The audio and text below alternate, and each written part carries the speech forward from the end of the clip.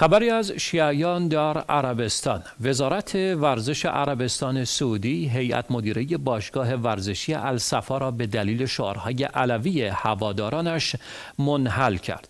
این باشگاه در استان شیعه القطیف قرار دارد و بنا به گفته فعالان ورزشی و حقوق بشر اقدام وزارت ورزش و جوانان عربستان سعودی نسبت به انحلال این باشگاه دور زدن قانون و اقدامی از روی دستپاچگی و بدون تعقل و تدبیر لازم بوده است با هم گزارش علی اکبری را ببینیم استان قطیف در شمال منطقه شرقی عربستان قرار گرفته و از جنوب با استان احسان مرتبط است. شرق این استان به سواحل خلیج فارس می‌رسد. این استان شامل سه شهر قطیف، سیحات و صفا است. باشگاه فوتبال الصفا یک باشگاه فوتبال واقع در شهر شینشین صفا در عربستان سعودی است و اکنون در لیگ دسته اول فوتبال عربستان سعودی حضور دارد. این باشگاه فوتبال در سال 1947 تأسیس شده است. وزارت ورزش و جوانان عربستان با صدور حکمی که فعالان مدنی آن را غیر منصفانه و خودسرانه توصیف کردند هیئت مدیره باشگاه ورزشی الصفا را پس از سر دادن شعارهای هواداران این باشگاه در روز جمعه منحل کرد.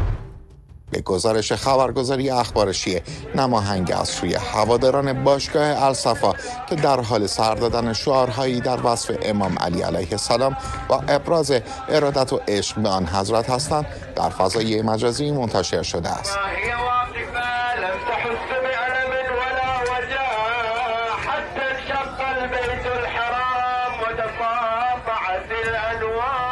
برگزاری این جشن که همزمان با سال روز ولادت با سعادت آن حضرت بوده از سوی وزارت ورزش و جوانان عربستان به صورت نادرست و غیر واقعی و کاملا جانبدارانه و برگرفته از تعصبات کور جرقه فرق گرایی توصیف شده است.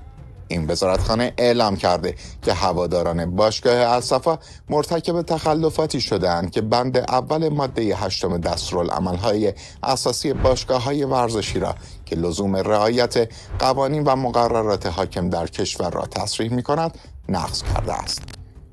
وزارت ورزش و جوانان عربستان سعودی در ادامه افسوده این وزارتخانه حق دارد در صورت انجام حرکات یا اعمالی که با نظم عمومی اخلاق عمومی یا مقررات وضع شده مغایرت داشته باشد هیئت مدیره هر باشگاه ورزشی را منحل کند.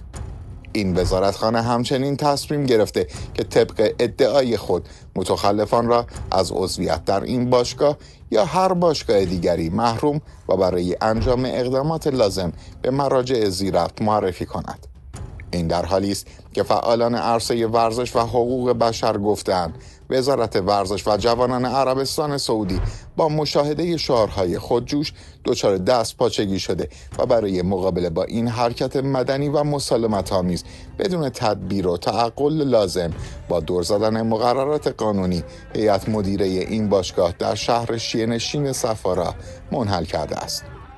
فعالان عرصه ورزش و حقوق بشر همچنین در ادامه افسودن با این تصمیم خودسرانه و ناعادلانه وزارت ورزش و جوانان عربستان تمامی دستاوردهای این باشگاه را در سطوح مختلف ورزشی، فرهنگی و اجتماعی را نادیده گرفته است.